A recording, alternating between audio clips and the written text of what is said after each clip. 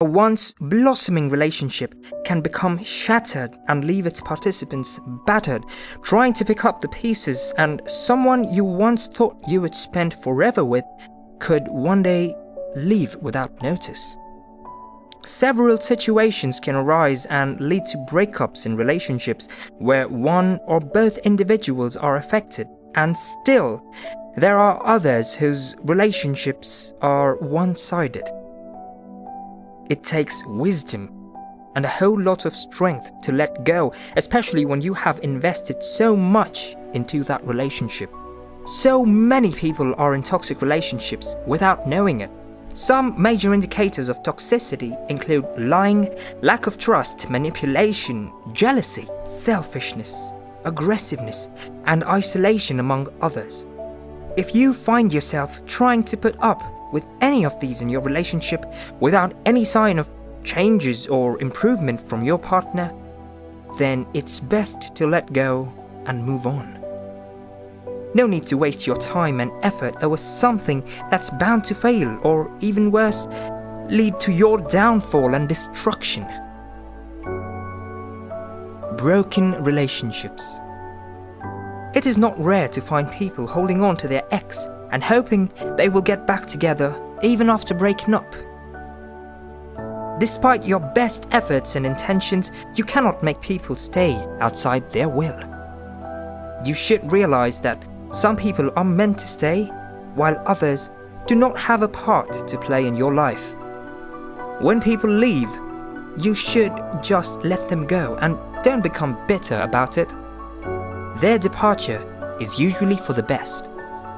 So stop holding on to thin air and trying to make sense of what is not. Lack of commitment from your partner. A relationship should involve two people working together as a team and doing their best to make things work.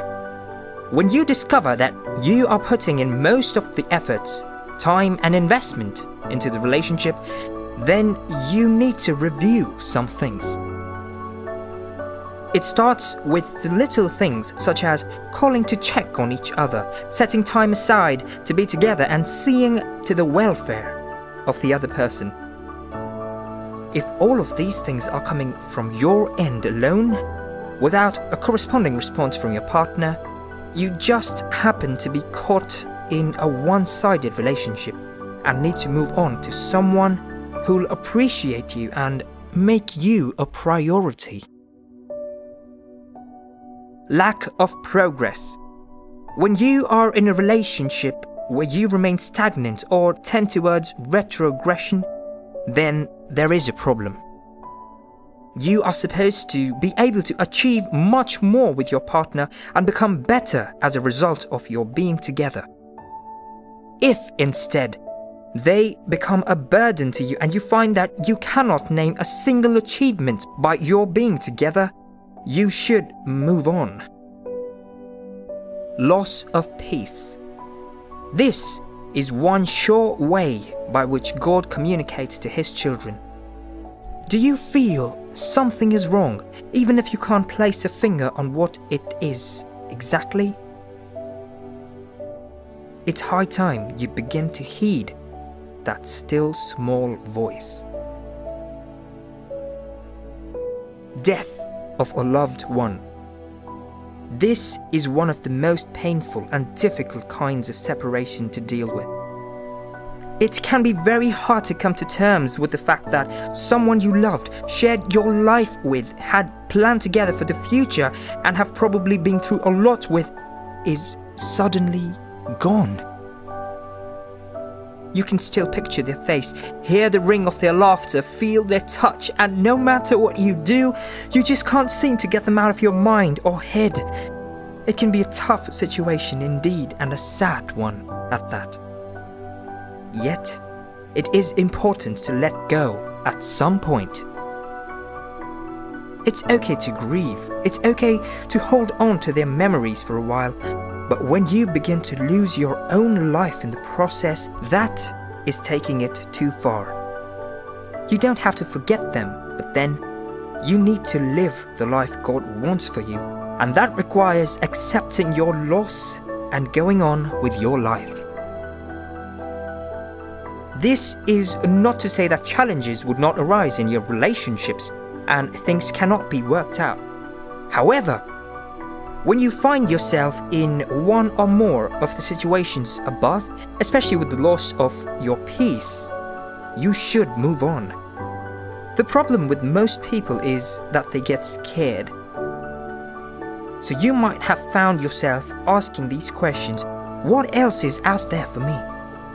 Would I find someone better? And so, because of the fear of the future, they choose to hold on to the present, no matter how torturous it might be, than risk moving on. You find this set of people saying, a known devil is better than an unknown angel. This is just one of the several reasons people choose to hold on. Others include emotional attachment. To move from a relationship where you have become so emotionally attached is easier said than done. Even when all the signs are telling you to run and your mind knows that things are not right, you might still find your heart telling you to hold on. It is this attachment that keeps most people hoping that things will come out okay, even when all evidence points in the opposite direction. Still, there is nothing that cannot be undone. There was a way. You became attached, and all you need to do is reverse the process. Cut off all forms of communication, get engaged in other things, and seek help if you must. Investments.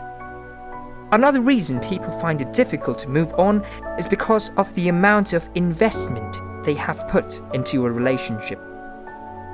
Imagine having sponsored your partner through school, setting up a business for them, making lots of sacrifices and getting them established, and in the end, have them turn their backs on you or start misbehaving. It is usually difficult to let such a person go because you feel you have put so much in them